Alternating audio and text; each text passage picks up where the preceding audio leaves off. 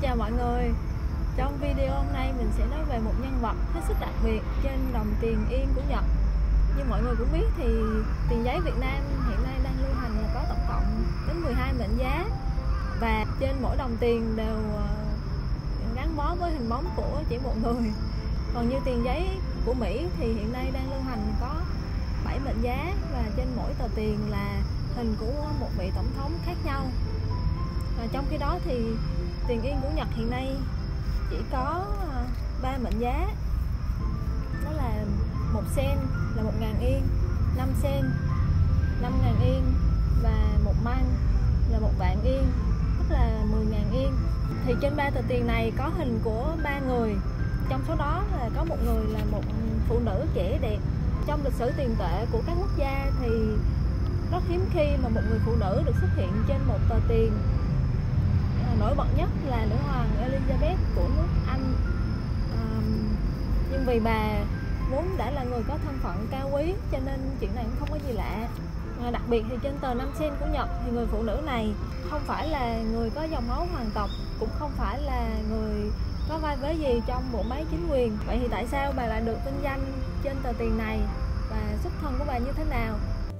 Bà tên là Higuchi Natsu được sinh ra ở Tokyo ngày 2 tháng 5 năm 1872. Gia đình cha ông bà tuy là gốc nông dân nhưng vẫn cố gắng mua được hàm sĩ tộc cho nên là bà sinh ra tiếng là con quan nhưng trong huyết quản vẫn là dòng máu nhà nông. Năm 9 tuổi thì bà tốt nghiệp thủ khoa ở trường tư lập. Tuy nhiên mẹ của bà là người phụ nữ khá là truyền thống cho rằng phụ nữ không cần học vấn cho nên là bà đã từ bỏ việc học tiếp 5 năm sau đó, vì nhìn thấy việc thôi học là cú sốc đối với bà cho nên cha bà vốn là người mang tư tưởng tiến bộ đã cho bà học thi ca và học cổ điển ở trường Haginoya là một trường rất là danh giá trong khoảng thời gian này thì bà có hôn ước với Shibuya Saburo là một người đang tham gia phong trào dân chủ tự do và đang học luật. Và những năm tiếp theo sau đó thì gia đình bà có rất nhiều biến cố. Là năm bà 15 tuổi thì anh trai mất 17 tuổi thì bố mất và không có để lại gì ngoài những món nợ do kinh doanh thất bại.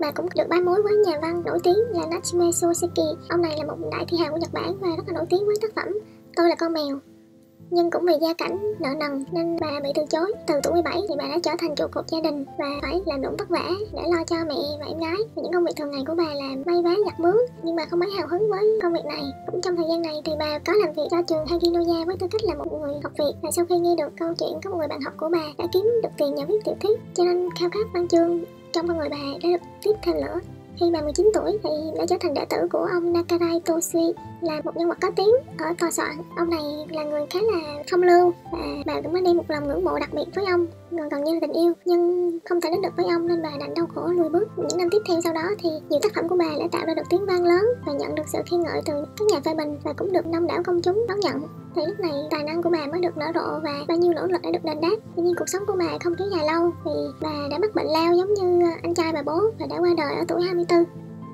Tuy tuổi đời ngắn ngủi nhưng bà đã để lại một lượng tác phẩm đáng kể gồm 21 tập tiểu thuyết ngắn và gần 40.000 bài thơ kiểu đoạn ca. Ngoài ra bà còn dùng tùy bút và nhật ký ghi chép kể lại những kinh nghiệm và trải nghiệm của bản thân.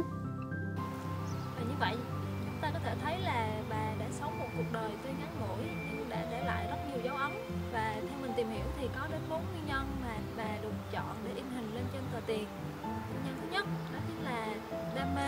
Là người đã trước sau theo đuổi ờ, niềm đam mê văn chương.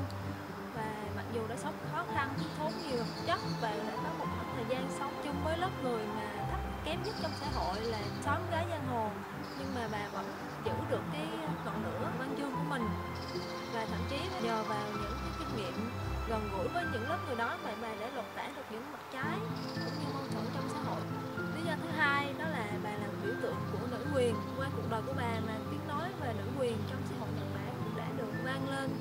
và là bà đã khẳng định được phụ nữ có quyền tự do, theo đuổi học vấn, theo đuổi đam mê theo đuổi sự nghiệp và sống như cái cách mà họ muốn. Lý do thứ ba đó là văn tài của bà bà sống vào cuối thời minh trị. Và khi đó thì ảnh hưởng của văn hóa phương tây đến nhật rất là rộng khắp và sâu sắc. Những văn sĩ cùng thời với bà cũng có cái văn phong, thoáng hơn. Nhưng mà đặc biệt bà chỉ là người học từ văn học cổ điển Nhật Bản.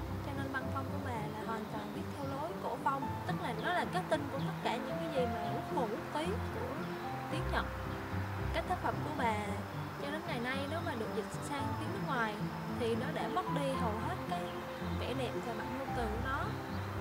Lý do thứ tư, đó là vì người Nhật muốn tôn vinh những người có đóng góp lớn cho xã hội và cho đất nước, cho nên họ đã chọn bà như là một biểu tượng văn hóa lớn của nước Nhật.